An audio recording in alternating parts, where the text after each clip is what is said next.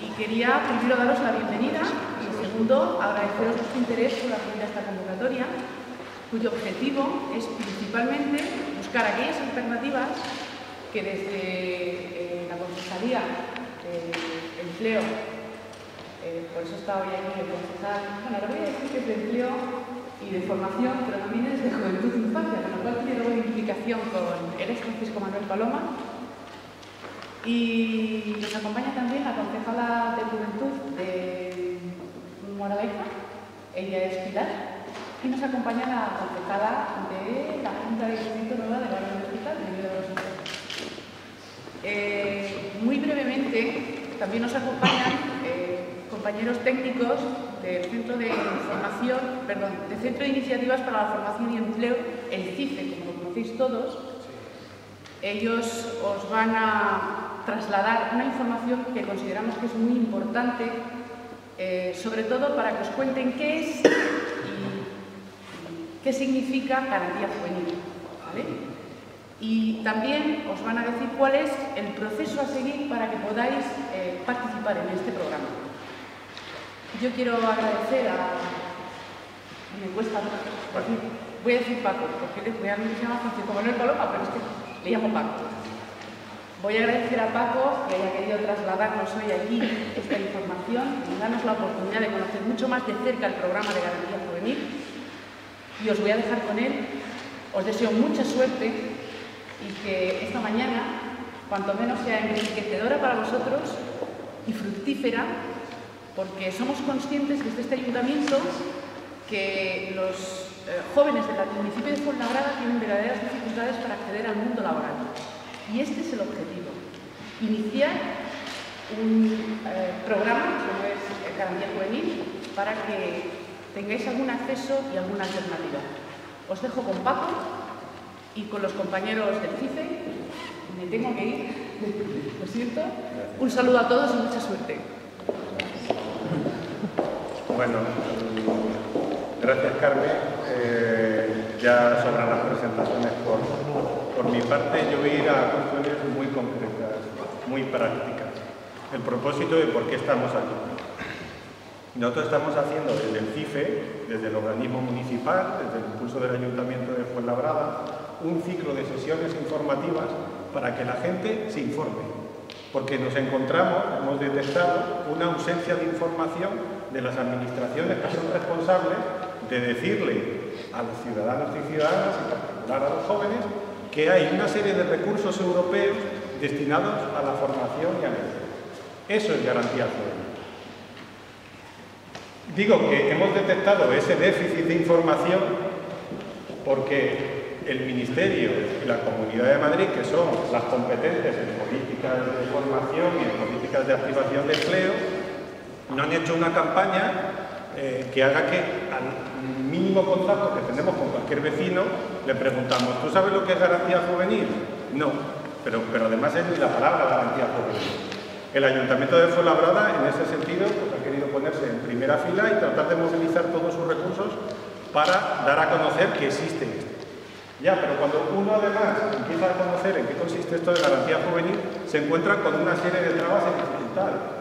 Está muy bien la sociedad de las nuevas tecnologías, está muy bien el acceso digital, pero eh, hay gente que no tiene esa facilidad por cuestiones de recursos económicos, hay otros que se pueden manejar muy bien a través de las redes sociales o tener unos conocimientos básicos, pero la inscripción, que es lo que nos va a estar explicando los técnicos del CIFE, Juan y Luz, en detalle, a los cuales además les gusta que se hagan las charlas muy interactivas, es decir, van a contar un guion básico, pero vosotros preguntar todas las dudas que tengáis. Pues también detectamos que había muchas dificultades, que había muchos jóvenes que se perdían en un proceso muy farragoso, muy complicado de inscripción telemática, de inscripción online a través de Internet para hacerlo. No lo han puesto especialmente fácil. Con lo cual, segundo nivel, no solamente os informamos, sino que nos ponemos a nuestra disposición todo el equipo que hay, tanto en la Oficina de Juventud como en el Centro de Iniciativas para la Formación y el Empleo, para tratar de ayudaros, porque muchas veces pues, la dificultad es la Administración tiene que ayudar, no tiene que estar poniendo trabas. Y un tercer punto, porque luego os explicarán en concreto en qué consiste y, se pondrán ejemplos de lo que eh, puede ser el tema de garantía juvenil. Una vez que vosotros estéis inscritos en garantía juvenil, es muy importante que vayáis al CIFE y notifiquéis que estáis inscritos en garantía juvenil, porque desde el CIFE nosotros, como entidad colaboradora, desarrollamos una serie de programas, recibimos una serie de subvenciones y si no conocemos quién está, porque no nos trasladan esa información, cuando salen cursos y cuando salen convocatorias, nosotros, salvo los que nos lo han notificado, ya sabéis, segunda planta, en el CIFE, no confundir con el paro, no confundir con el SEPE, nosotros tendremos una base e iremos tirando la gente. Más información el 1 de agosto salió en el Boletín Oficial del Estado la ampliación, que antes iba desde los 16 hasta los 24 años. Ahora se ha ampliado hasta los 29. Nos lo hemos encontrado prácticamente ya hecho.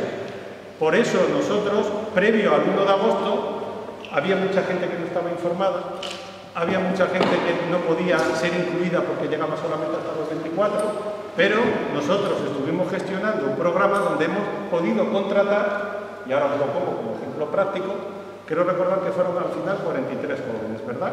43 jóvenes en diferentes especialidades, por ejemplo, administrativos, cerrajería, limpieza, y quiero recordar monitores, monitores de, orientación ambiental, es decir, de distintos tipos, donde van a estar hasta abril, es decir, un total de ocho meses contratados con un contrato de formación dado de alta. De lunes a viernes compaginan prácticas laborales en estas especialidades con la obtención de un certificado profesional. Están cobrando 650 euros, quiero recordar que es básicamente lo que cobran neto, pero bueno, de lunes a viernes, por las mañanas, sacándose un certificado profesional. Este tipo de cosas se tienen que conocer, porque el mercado laboral está en una situación dificultosa y lo mínimo que tienen que tener de conocimiento los, ciudadanos es este tipo de información. ¿Qué es lo que hay? ¿Dónde tienen que acudir? ¿Y, qué, y, en, qué, en qué se puede traducir? Estamos todavía en un periodo eh, donde merece la pena aquellos que cumplan con los requisitos de inscribirse, porque eh, bueno, pues está abierto todavía el periodo de aprovechamiento. Os voy a decir una cifra también para que, lo voy a decir con estos términos, para que flipéis. Creo que al Estado español, a España le han correspondido 1.900 millones de euros para este programa. Pues hay que aprovecharlo. Si no se aprovechan por parte de las administraciones, y, ¿y eso cómo se aprovecha? Pues de un público potencial de 800.000 jóvenes, solamente estaban inscritos. Es verdad que no tenemos las cifras frescas, me refiero a que allá por agosto, son las cifras que refería la gerente del CIFE, creo que estaba apuntados unos 50.000. Hombre, esto no puede ser. Creo que estáis en muy buenas manos, los técnicos os van a pasar una, ficha, aparte que os han pasado una ficha por escrito, una ficha explicativa, todas las dudas, todo lo que sea, a qué público va dirigido, qué condiciones que tienes que tener, si estás en el paro, cuánto tiempo has hecho anteriormente un curso, pero que eh, la labor es fundamentalmente esta la de información, la de acompañamiento y la de recordatorio que nosotros tenemos un recurso municipal que gestionamos estas subvenciones que por lo tanto va destinado fundamentalmente a jóvenes de Fuenlabrada. Y decía lo del ciclo, pues era una de las cuestiones que teníamos muy claro. Aparte que lo vamos haciendo, el distrito de Loranca pues eh, también tenía que tener eh, este, este servicio. No obstante, para cualquier tipo de duda, tenéis las oficinas del CIFE, repito, las oficinas del Espacio Joven en el antiguo ayuntamiento para, hacerlo. Y por supuesto, ya a título personal, las puertas del despacho, como podéis seguir también por redes, y tengo la costumbre de contestar a las preguntas o por lo menos derivar a donde hay Y ya yo también os dejo